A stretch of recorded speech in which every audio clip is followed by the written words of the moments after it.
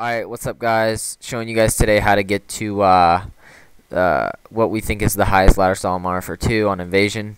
So you're going to want to come over here and by this table and shoot the one, two, three, and have your friend boost you up here.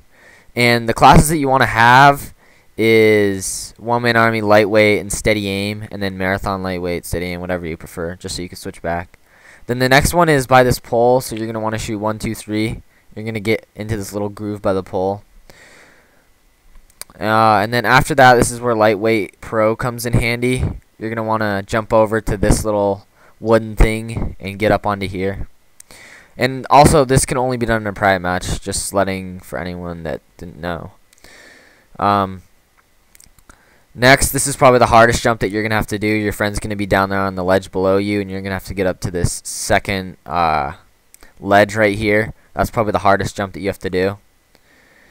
And once you get up there, you don't need your friend to help you shotgun jump anymore. All you have to do is jump your way around things. And you're going to want to line up on this little uh, thing that's sticking out right here. You can see it. And you're going to want to scoot back and into the right like a little bit because or else you'll hit the wall and you're going to want to jump over here onto that wall. And this is where lightweight pro or whatever comes in handy. And it's really useful, especially right here too. We have to jump across.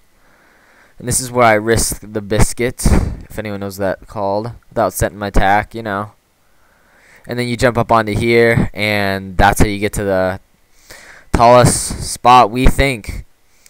Um, you know, here's the ladder star here, but we're going to also be coming out with our private match shot on this pretty soon. And just be ready for episode 2. So, that's it guys. Uh, you guys asked for the tutorial. We gave you the tutorial. So just remember to like, comment, favorite, get that out there. And, alright, peace.